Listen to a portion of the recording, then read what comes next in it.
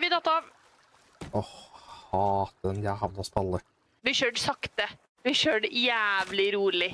Vi sa vi som at vi var med og kjørte. Ja. Der datt jeg av. Jeg er ganske sikker på at den er en fjellkant.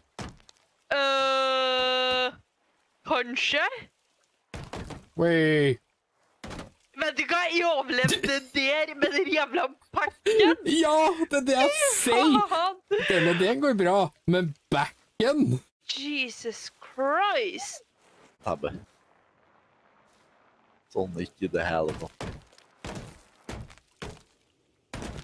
Kjør du på, Emma? uh, vi driver og har poledance rundt i et hell? Er det du snakker om? Du har tredd oss nedpå et tell, Seb. Why? Og vi henger på. Og bilen tar et 360-flipp, og jeg sitter fortsatt i. Supert! Hva du syns om beskrivelsen min, Seb? Det var veldig spot on.